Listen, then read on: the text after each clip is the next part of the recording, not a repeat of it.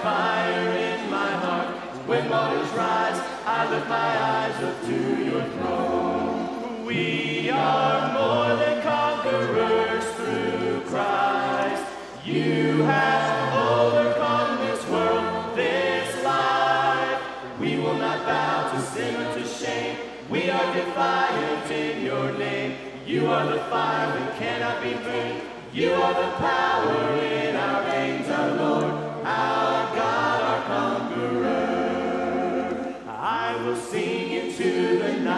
Christ is risen and on high. Greater is he living in me than in the world. No surrender, no retreat. We are free and we're redeemed. We will declare over despair, you are the hope. We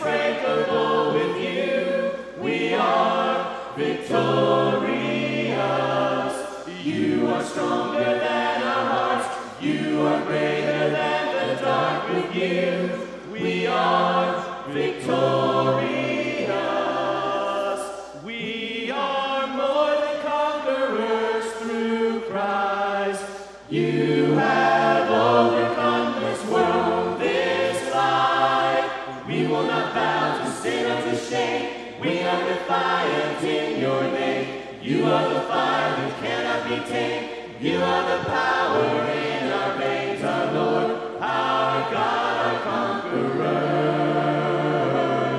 Our Lord, our God.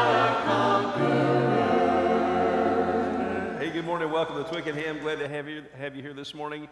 If you are a guest, thanks for coming out to be with us today. If you're traveling, we'll send you off with some prayers. If you're from the area and you're looking for a church home, we'd love to talk to you about Twickenham, what God's doing here, and maybe what your part could be in that. Just glad you're here. Thanks for coming out. There's a card in the seat in front of you. If uh, you have a prayer request, you can indicate that on the card. We will be praying about that this week. If it's something that's private that you only want the staff and elders to know about, indicate that on the card. If you, if you want everybody to be praying, let us know. We'll get everybody on their knees about it. Just really, really glad that you are here. We have a group of special guests with us this morning. Uh, the Madison Academy football team is here. How about you guys stand up and your parents, and anybody else with you, coaches, stand up, let us give you a hand.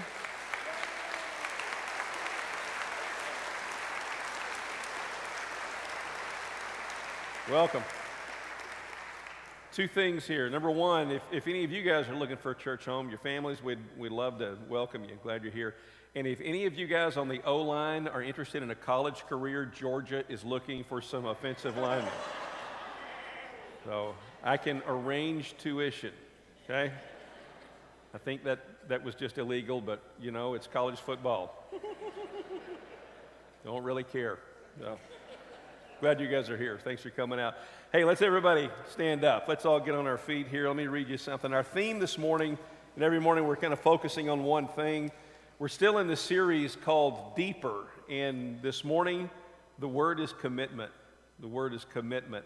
And we're going to begin praising the God to whom we are called to commit everything. Listen to this from Psalm 100 Shout for joy to the Lord, all the earth.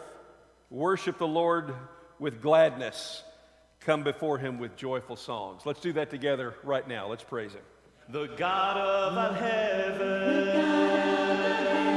the ancient of days,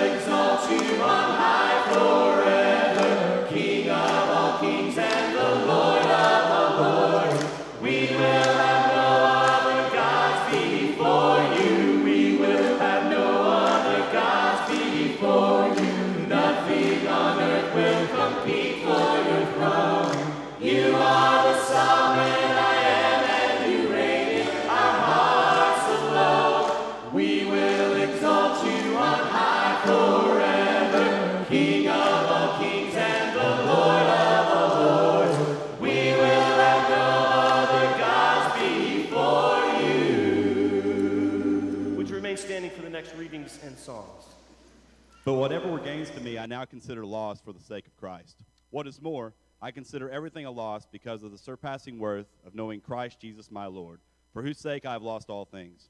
I consider them garbage that I may gain Christ and be found in him, not having a righteousness of my own that comes from the law, but that which is through faith in Christ, the righteousness that comes from God on the basis of faith. I want to know Christ, yes, to know the power of his resurrection and participation in his sufferings, becoming like him in his death, and so somehow attaining to the resurrection from the dead. He came to live, to live a perfect life. He came to be, the living word, our life. He came to die, so we'd be reconciled. He came to rise, to show his power and might, and that's why we pray.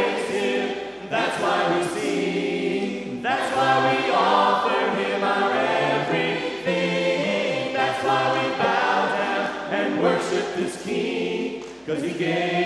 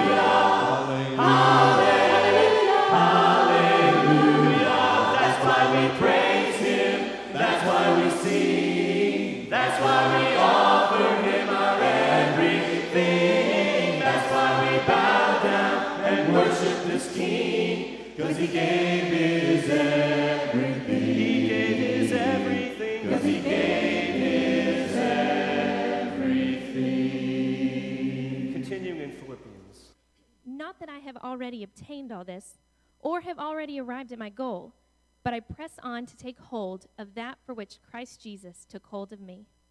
Brothers and sisters, I do not consider myself yet to have taken hold of it, but one thing I do, forgetting what is behind and straining toward what is ahead.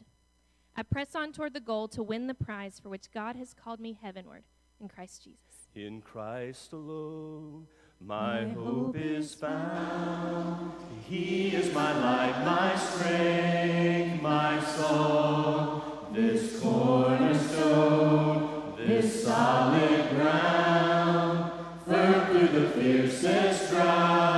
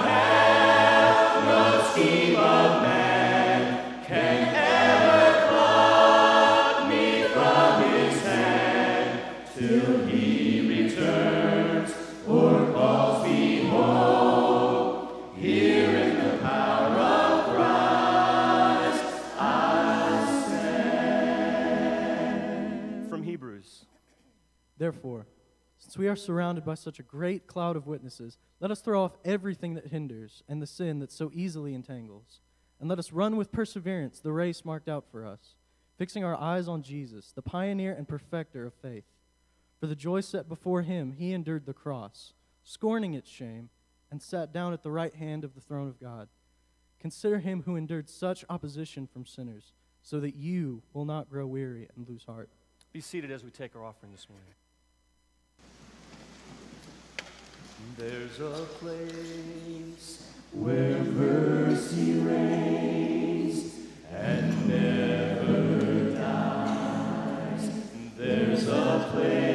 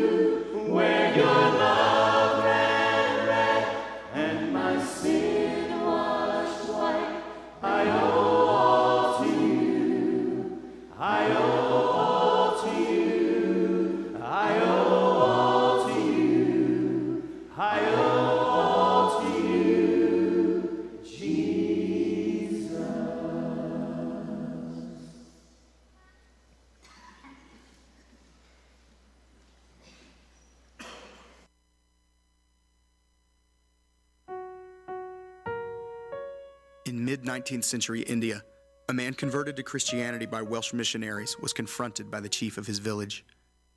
The chief commanded him to renounce his newfound faith in Christ or face grave consequences. In response to the chief's threats, however, the man only replied,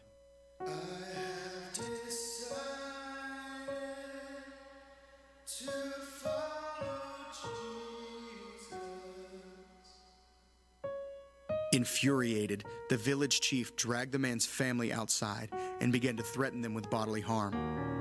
The man, unflinching, responded to the leader's ultimatum.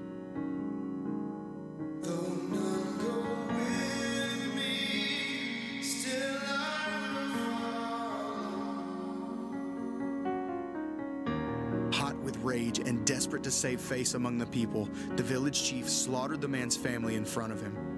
He turned his eyes to the steadfast convert, demanding that he either deny the works of Jesus or face his own death. In the center of the public square, the man was bound, beaten, thrown to the ground, and slowly crushed to death. But not without a final defiance of the village chief. As his bones were breaking and his lungs collapsing, the man's final words rang out in song through the village square.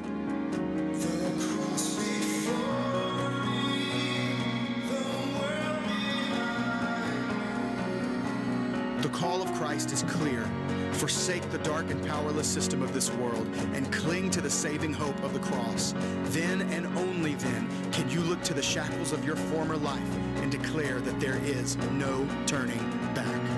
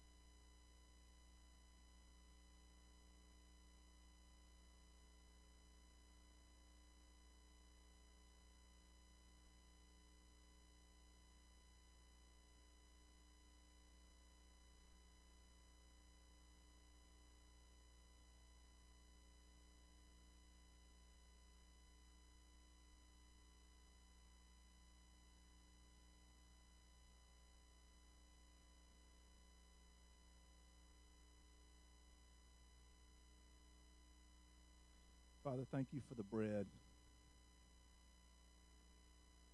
For the bread that represents not only your flesh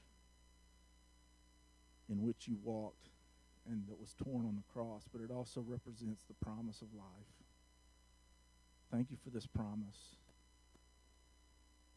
Thank you for Jesus. In Jesus' name, amen.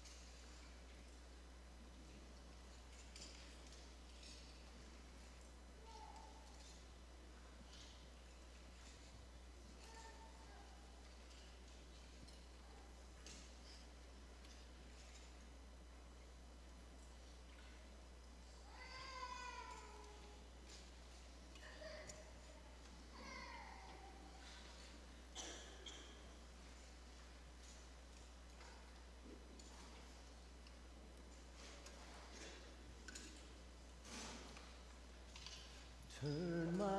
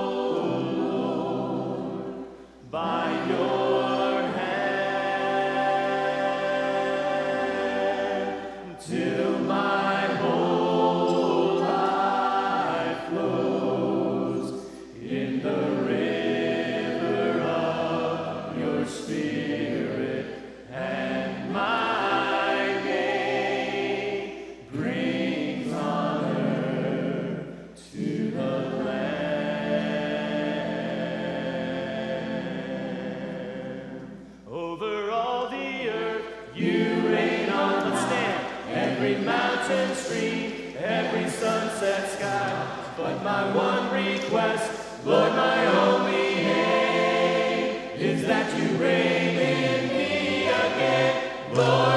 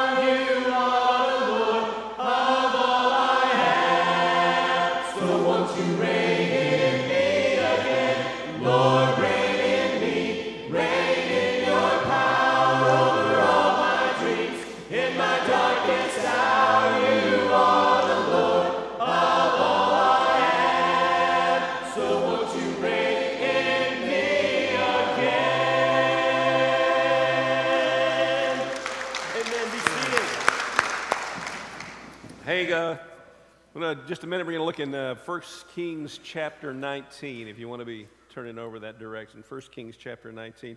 A few years ago, I walked into a Subway sandwich shop over in Atlanta, um, and the guy there, I was a regular, the guy knew me, so he didn't even bother taking my order because he knew what it was going to be. Don't believe in change very much. Be a good elder one of these days. So, so anyway, he just kind of nodded at me, and we, and we greeted each other. It's a little, just a joke, just a little joke.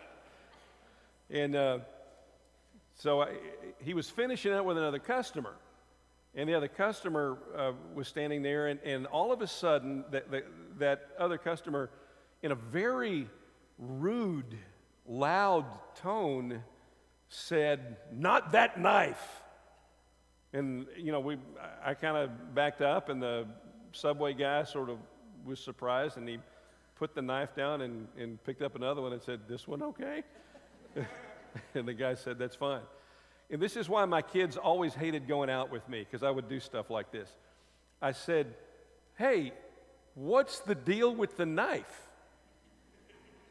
And he, he which was really dumb, but he, he looked at me and, and I said, I, I realized that that might have been a little forward. So I said, I'm, I'm just, I'm really interested. Is it a religious thing? Because I'm a pastor and I just, I wonder.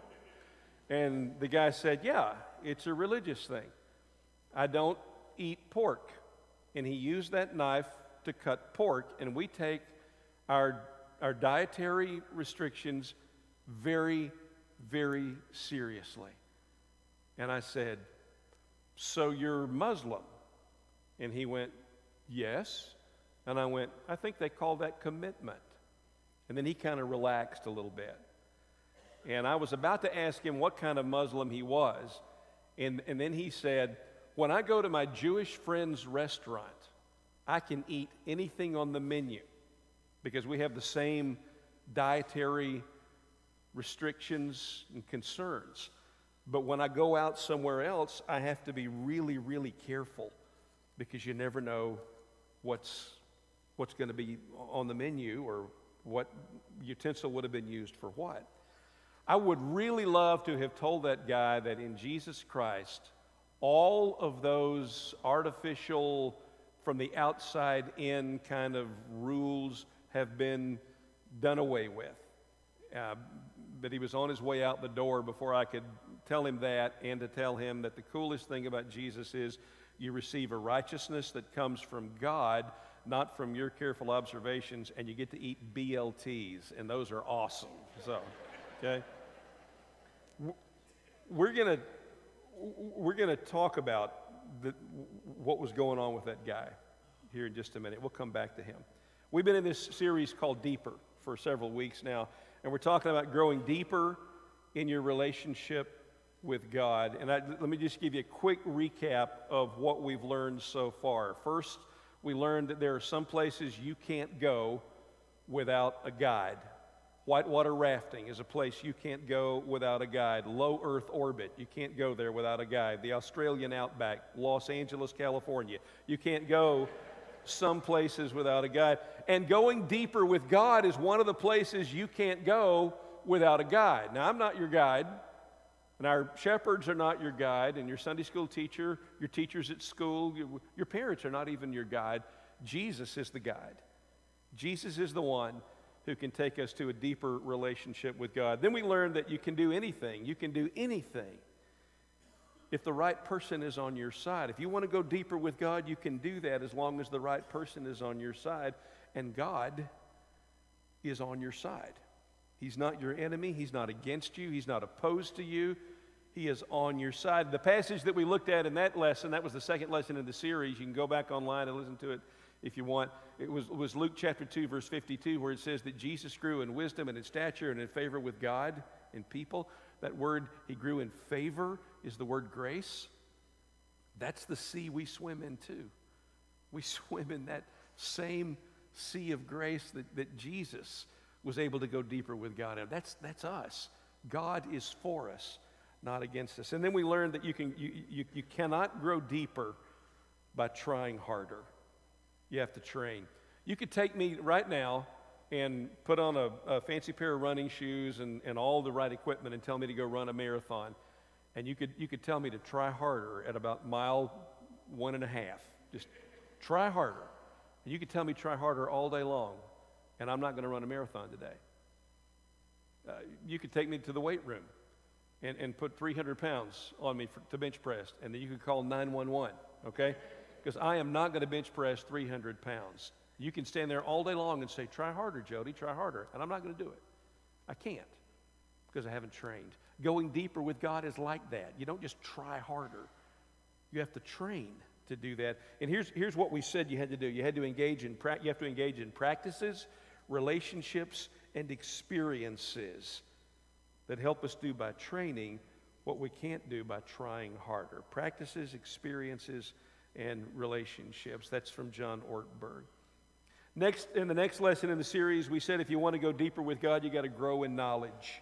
You got to grow in knowledge. Can't do God's will if you don't know God's will. And I'm not saying you got to become a Bible scholar or a Bible freak or get a PhD or a THD or a D.Min or any of that. You don't have to become a Bible thumper. You just want to know more in September than you did in July. You want to know more in December than you did in January. You want to be growing in your knowledge of God. Just grow in that. Grow in that. Wherever you are, whatever you know, know a little bit more later on. And then last week, and this, I think this was the hardest one of all. I mean, these, th- this was just hard. We said if you want to grow deeper with God, you got to get closer to people. And we talked about how the two greatest commands are to love God and love others. Jesus connected love for God with love for others. And it's a theme throughout Scripture. It's almost like God is saying, if you want to love me, you got to love my kids. And have you've seen some of God's kids? Right? They're hard. We're hard. And yet, those two are together. We got to love each other if we're going to go deeper with God. So that's where we've been. This morning, we're going to take a look at another principle for going deeper in our relationship with God, and it has a lot to do with that Muslim guy's scrupulous concern about which knife touched his sandwich. So, First Kings. Uh, that's the 11th book in the Old Testament. You want to say them with me? Let's try to see if we can do that. And if you can't, you just look it up on your tablet or phone, but let's, let's try it. Here we go Genesis, Exodus, Leviticus, Numbers, Deuteronomy, Joshua, Judges, Ruth, 1 Samuel, 2 Samuel, 1 Kings. I'm so glad I got through that because sometimes I, I don't. 1 Kings chapter 19. And while you're looking it up, let me tell you another story. 1 Kings chapter 19, but here's another story, and this one's a lot older than the subway story. On April 21st, 1519, the Spanish explorer Cortez sailed into the harbor of Veracruz, Mexico, with 11 ships and 600 men. And even though he only had 600 men, over the next two years, they conquered Mexico. They were able to defeat Montezuma and all the warriors in the Aztec Empire, and they conquered the entire country. How are they able to do that with 600 men? Well, Cortez knew from the very beginning that it was going to be a challenge. And he knew that his men were going to face incredible odds. And he knew that some of his men, and maybe even he himself, would be tempted to quit.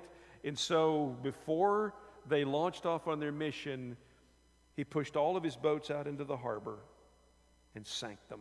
Now, legend has it that he burned them, but it's more likely that he sank his ships. And from that point on, there was no turning back. Their only option was to conquer or die. We have a word for that. The word is commitment. Okay, so now we're ready to listen to this story from the Bible, from 1 Kings chapter 19, which is even older than Cortez. Elijah was a prophet in the northern kingdom of Israel around 700 years before Jesus. All of the kings that ruled during that period were horrible people. They were awful rulers. They were really rotten. In fact, at the beginning of chapter 19, Elijah has about had it. He's ready to give up, and he seems downright depressed. There's a, there's a king named Ahab who was an awful man, and his wife Jezebel, who was equally corrupt. They've put a contract out on Elijah. They want him dead. They got a price on his head. They want to kill him. Elijah flees to a cave. He hides out. He thinks he's the only one who's faithful to God, who's committed to God. And so, through a series of really dramatic encounters a, a wind and an earthquake and a whisper God comes to him and he says, You're not the only one, Elijah. I got 7,000 people who are committed to me. So, we're okay. And then he tells Elijah to go and recruit someone to help him. And then we're going to pick it up here in, in 1 Kings chapter 19, beginning in verse 19. Here we go. So, Elijah went out from there and found Elisha, son of Shaphat. He was plowing with 12 yoke of oxen, and he himself was driving the 12th pair. Elijah went up to him and threw his cloak around him. Elisha then left his oxen and ran after Elijah. Let me kiss my father and mother goodbye, he said, and then I will come back to you. And I don't know how to read this next verse, okay, because it can mean two or three different things. Go back, Elijah replied, What have I done to you? Or, Go back, Elijah replied, What have I done to you?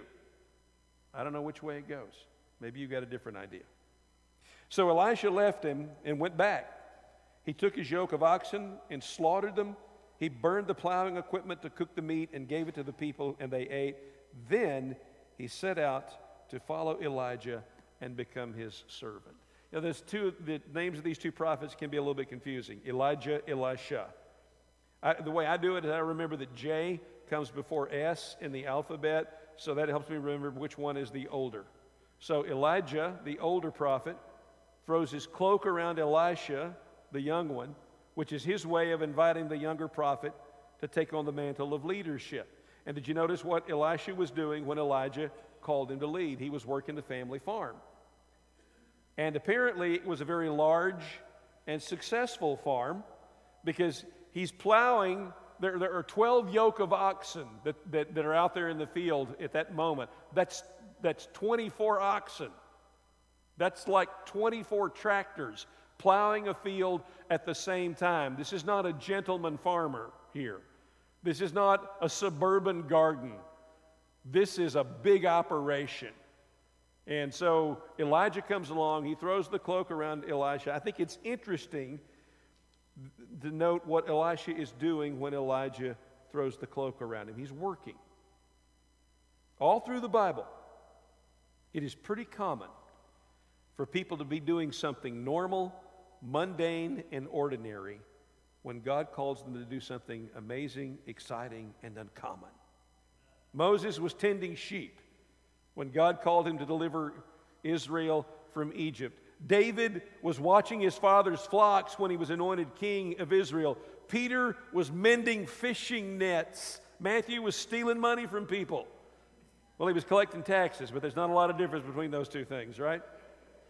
I, I think what, what happened, what we're seeing here it, it, throughout Scripture is that God looks for people who know how to work, who know how to stick with a tough job until it's done. What's really important here, I think, is what Elisha does when Elijah calls him. Verse 20, he says, Let me kiss my father and mother goodbye, which may sound familiar. Prophet invites a guy to follow. Guy says he'll do it, but asked to go say goodbye to his family. Does that sound familiar? Well, yeah, it happens somewhere else in Luke chapter 9, verse 62. Jesus invites a man to follow him, and he says, I will. I will follow you, Lord. But first, let me go back and say goodbye to my family. And then Jesus replied, No one who puts his hand to the plow and looks back is fit for service in the kingdom of God. That's a little strong. So there's some tension here. Not just between what goes on with Elijah and Elisha and Jesus and that would be disciple. Some of the tension is is Elisha really going to follow? I mean, is he, is, he, is he stalling? Does he really intend to go through with it, or is he trying to buy some time to think up a good excuse, to a good reason to say no? Any of you folks in sales know that a lot of times people will give you a no initially. They'll give you all kind of other stuff so they can think of a good reason to say no later, and it's maddening. Well, look at verse 21. He took his yoke of oxen. This is Elisha, the younger prophet. He took his yoke of oxen and slaughtered them. He burned the plowing equipment to cook the meat and gave it to the people, and they ate. And then he set out to follow Elijah and became his servant. Cortez scuttled his ships. Elisha burned his oxen and his plow. All the things that represented the life he was leaving. There was no going back. He barbecued his oxen, oxen on the fires fueled by his plow, and he celebrated with his family and friends. By doing this, he publicly and irrevocably, irrevocably declared his intention to leave his former way of life, the farming life, and follow Elijah and never go back. We have a word for that commitment. Now, the word itself may be kind of popular, but the concept, not so much. Our world's a little bit schizophrenic. We are a little schizophrenic. I mean, on the one hand, we, we live in an age of instant everything. We get real time stock quotes on our phones. We surf the internet at blazing connection speed. We live with an expectation of immediacy. If it takes two minutes to go from the place where you order your hamburger to the place where you pick up your hamburger, we become apoplectic. We call the number on the window that says, How was your service? And we go, It was not good. It took two minutes. If a web page takes 30 seconds to download, we want to get a different ISP or a whole new whatever. But while we, amen, while we live in a culture of instant everything, it's also a culture of forever nothing. And back in the day, your dad was a Ford man, or a Chevy man, or a Chrysler man, and he never switched. We used the same detergents. We drank the same soft drinks. We wore the same jeans. We attended the same churches all our lives. We worked 30 or 40 years for the same company. We stayed married to the same man or woman until one of us died. Back then, nearly everything was for always. And now, nothing is. Not the little things like what kind of ketchup you put on your hot dog, and not even the big things. We're, we're always looking for the better deal, for what's on sale, or if things get, if things get tough in a job, or at a church, or in a marriage. A lot of folks just ditch the job, or ditch the church, or ditch the spouse and start over. Now, look, I know that some of us didn't quit on our commitments. Our commitments quit on us. Company cut you. The church rejected you. The spouse left you or left you with no choice. I get that. It's not always our fault.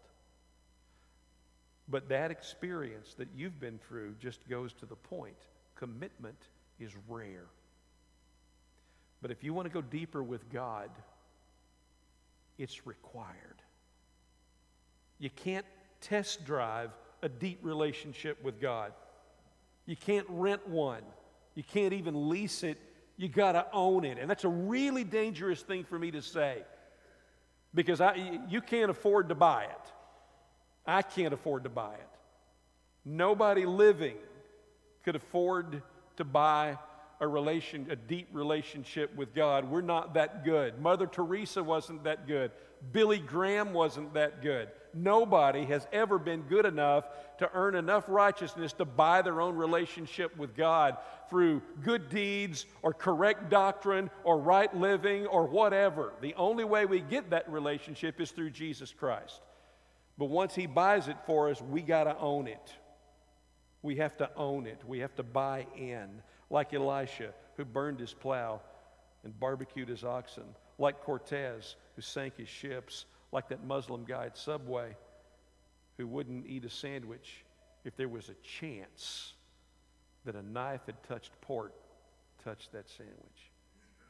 You know, I don't agree with that guy in the sandwich shop's worldview. I mean, not only is the religion he practices wrong, but there are some things seriously wrong with how some people practice his religion.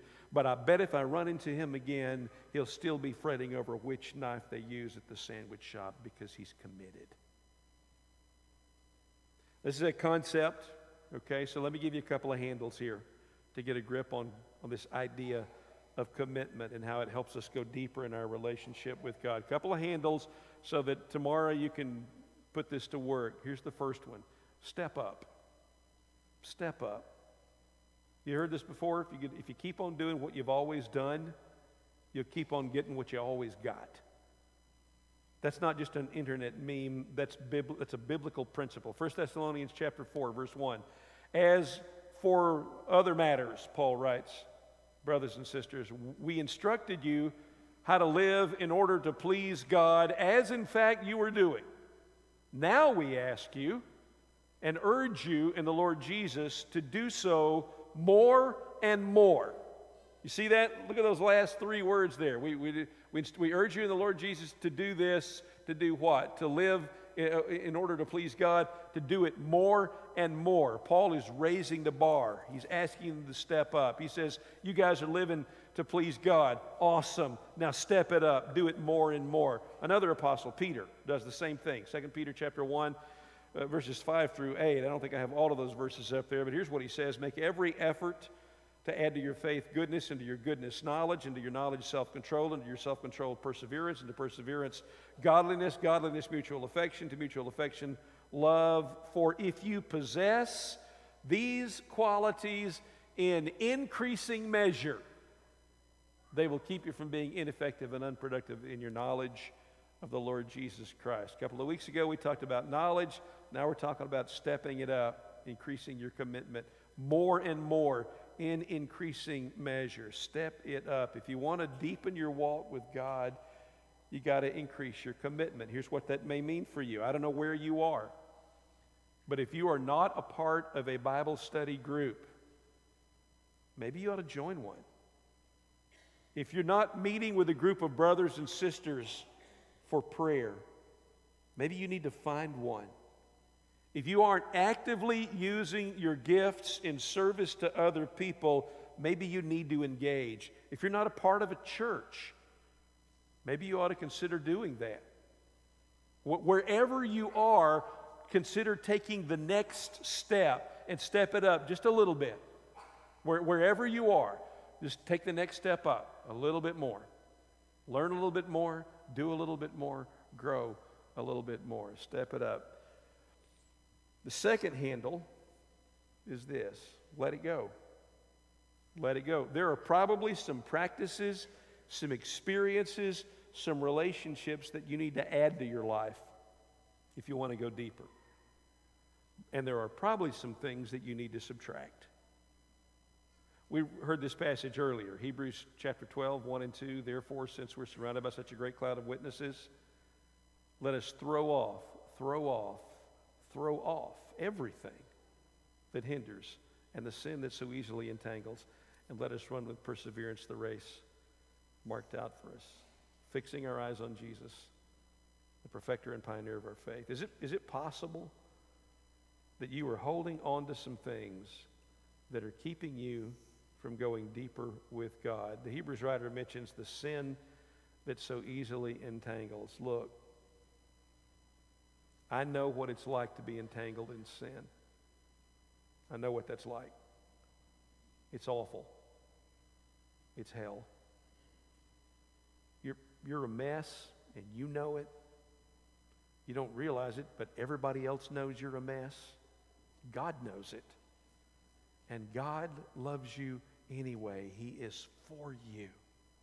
Remember, we favor. So if you're tangled up in something right now, if it's a relationship you know you don't belong in, if it's a habit you know is not conducive to going deeper with God, if there's a chance that it's an addiction, can you let it go? Can you confess that? And, and begin to walk with brothers and sisters who will love you and a God who will be faithful to cleanse you and clean you. There's some things we have to let go of. And being entangled in sin is one of them. Maybe the thing, maybe you're not tangled up in something right now, but maybe the thing you need to let go of is a grudge.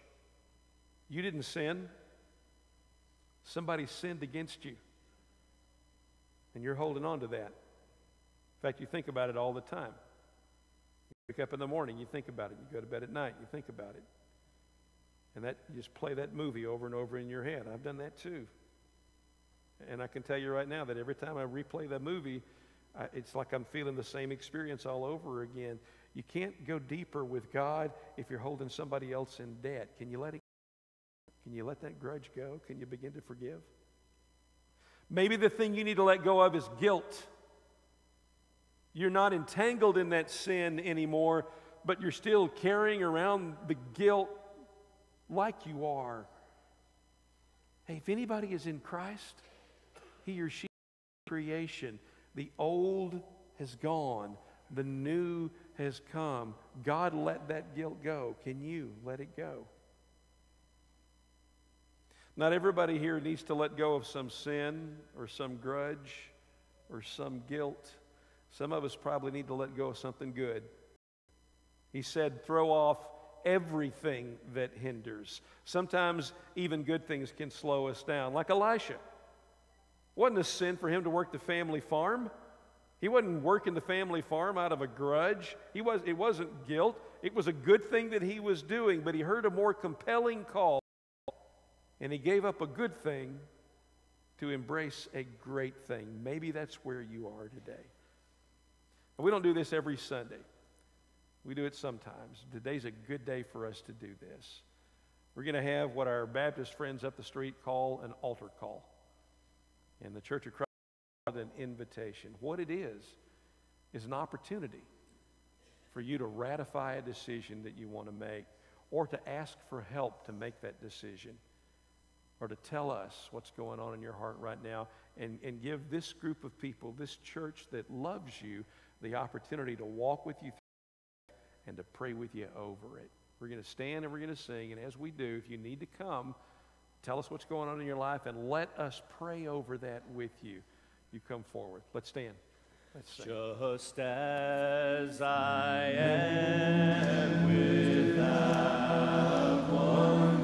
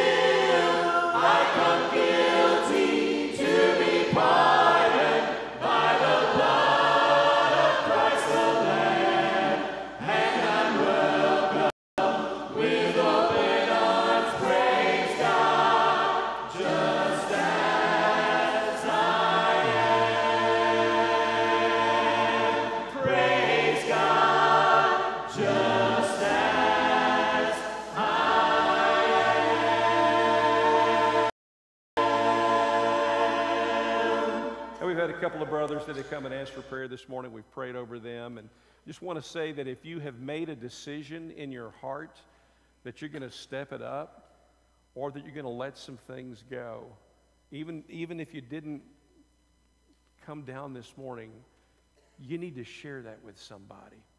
Okay? They, they can rejoice with you, they can pray with you, they can help hold you accountable. It can be somebody that can walk with you in that new commitment or in that new freedom. Don't do it by yourself. There's no such thing as doing it by yourself. It cannot be done. I tried it, it doesn't work. All right? Find somebody, share it with them, and then rejoice at what God's going to do in that moment. We're going to have a, we have another song, Lincoln, we have a, some family news. Family news, then. Let's have that, and we'll have a prayer. Thank you. Things, and we'll be out of here. Number one, uh, thanks to Madison Academy football guys. Thanks, parents, coaches. Thanks for being here very much. We uh, hope blessings on the rest of your season, and more importantly, on your personal walks of faith. Secondly, um, as a church, we're into fishing. We like to fish for men, and some of us like to fish for fish. That was pretty good. Uh, there's a group of guys that annually goes to Heber Springs in Arkansas, one of the finest trout fishing destinations in the entire U.S. of A. And they've been doing this for several years. That trip has been scheduled. The dates are up there. Most importantly, if you'd like to go, you need to check with Robin Bridges, who's singing tenor this morning. Robin's right down here. Raise your hand, Robin. Um, he'll have all the information that you need. So if you would like to know more about that trip or sign up for it, check with him. Thirdly, our PAR disaster ministry, Prepare and Response, is the ministry of this church that couples with other churches of different backgrounds in this community to respond to disaster situations. Over the last five to 10 years, we have responded to disasters from the East Coast to Oklahoma, Texas, all over the country, anywhere we can get. Almost every national disaster that has happened, that's happened in this area, we have responded to in the last five to 10 years. They are looking for more volunteers for that ministry, and because of that, they've set up our PAR trailer in the back. Down there's a picture.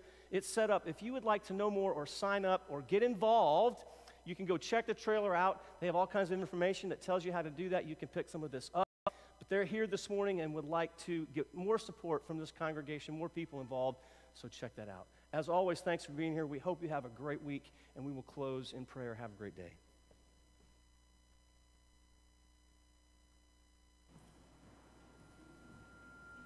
Bow with me, please? Heavenly Father, thank you for another wonderful day for which we can come together, praise and glorify and uplift your name. We'd like to thank you for your servant Jody, who was able to deliver your message in a way that is clear and understandable. Heavenly Father, we ask that you continue to bless our honored and special guest this morning, the Madison Academy football players, training staff, as well as the parents and families that surround this organization. But more so, we ask that these players may play in a way that is honorable to you and glorify and edify everything that you are about in the way that they conduct themselves both on and off the field. Father, we know and never hesitant to ask for forgiveness. Be with us, dear Lord, as we go through the rest of this day and our week, that we may honor you and live in a way that's righteous and according to your word. It is in Jesus' name that we pray. Amen.